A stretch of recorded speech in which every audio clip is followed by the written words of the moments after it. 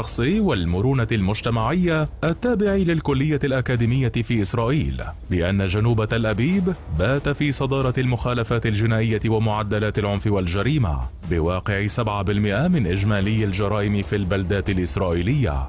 وبالطبع فإن المجتمع الإسرائيلي المعروف بالعنصرية حتى بين المواطنين أنفسهم بالتمييز بين يهودي وغير يهودي بل وبين اليهود أنفسهم بتقسيمهم لطبقات بحسب الدول التي هاجروا منها. فإن مثل هذه الدولة كان من الطبيعي أن تمارس أبشع أنواع العنصرية على طالب اللجوء الأفارقة وغالبيته من أصول إريترية وسودانية وأثيوبية. بينهم نحو 18 ألف لاجئ من أصول إريترية إضافة إلى 32 ألف لاجئ من السودان ودارفور وأثيوبيا. ولذلك غالبا ما تعصف الصدامات وحالة التوتر والغليان بالأحياء التي يقطنونها. مع غياب الثقة مع كل ما حولهم بما فيها وسائل الإعلام.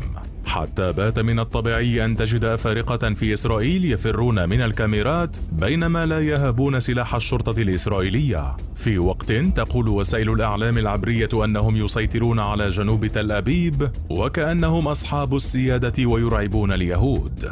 بل ووصل بهم الأمر لبناء مجتمعات موازية وتأسيس ما يشبه دولة داخل دولة. وهو ما ترجعه مصادر عبرية وغير عبرية إلى السياسات العنصرية والتمييزية التي تنتهجها ضدهم حكومات إسرائيل المتعاقبة منذ عقدين أي منذ حطت بهم مسيرة التشريد في إسرائيل. بعد أن دخلوها عبر شبه جزيرة سيناء أي من الحدود مع مصر. وهم اليوم يعيشون في منازل مستأجرة لا تتعدى مساحة الواحد منها 80 مترا بينما يقطنه 15 من اللاجئين. حتى بات الدخول إلى الأزقة التي يقطنها اللاجئون الأفارقة أمرا محفوفا بالمخاطر حيث تتبدى معالم الفقر والتمييز والتهميش والحياة الصعبة وتتشح كل هذه الأحياء بكل ما يرسم ملامح شظف العيش. فهم يحيون هنا بلا امتيازات ولا حقوق وبظروف اجتماعية واقتصادية مزرية وفقر مدقع عمقت الإقامة المؤقتة التي تمهد للترحيل القسري.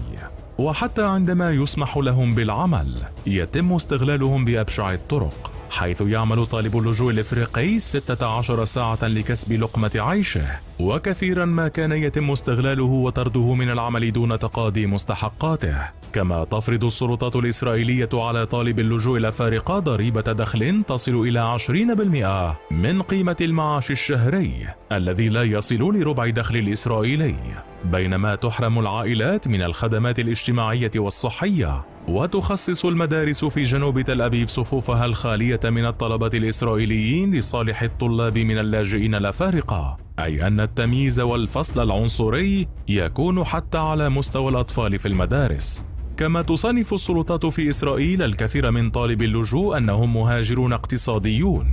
ولا يتم قبول طلبات اللجوء إلا في حالات نادرة ما يمعن في استمرار مأساتهم وهي